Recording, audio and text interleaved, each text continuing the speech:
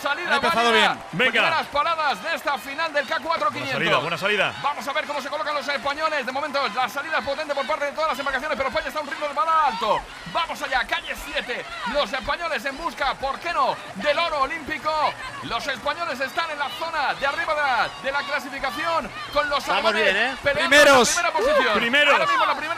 Vamos A por el España oro. primero, los primeros 150 metros. Detrás Alemania, detrás Australia, detrás Serbia, detrás Hungría. Pero de momento los nuestros pareando a una velocidad realmente brutal. En el primer punto de referencia vamos a ser primeros y los alemanes Volando, van a yo, volando, Australia. volando. España es primera, 0-16, segundo por detrás. Los alemanes, vamos chicos, vamos lanzados hacia el oro con los alemanes tratando de peleárnosla, pero parece que la diferencia clara. Vamos volando en este Fórmula 1 de Cravioto Cooper, Arevalo y Germade. De momento estamos a 158 metros. Venga, Ojo venga, al hay que aguantar. ojo a los alemanes que Hay nos que acaban de aguantar. sobrepasar. Somos plata, somos bronce, nos pasan los australianos en la pelea por la plata. Estamos a 1.7 metros de poder ser oro. Estamos en la pelea por la medalla seguro, pero va a ser de foto finish. Venga. Va a ser de foto finish. Dale. 1.10, 1.11, Sí, venga. 1.12. Venga, apretamos. España en la, en la Pero vamos a primera ser medalla seguro. Vamos a ser medalla seguro.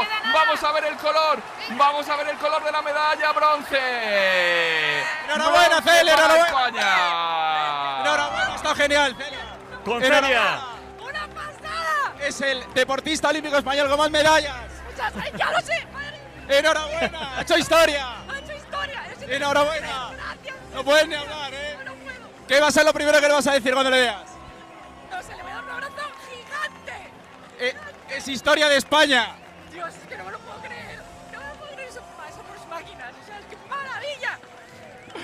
Gracias a Celia, aquí a la, a la mujer.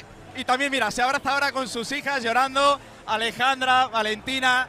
eh, espectacular, ¿eh? Lo que hemos vivido aquí ha sido absolutamente Tremendo. algo increíble, emocionante. Se convierte Saúl Gravioto en el deportista olímpico español con más medallas en toda la historia. Es historia de España, más allá del olimpismo, cuatro fantásticos y una leyenda. Joe, 39 años.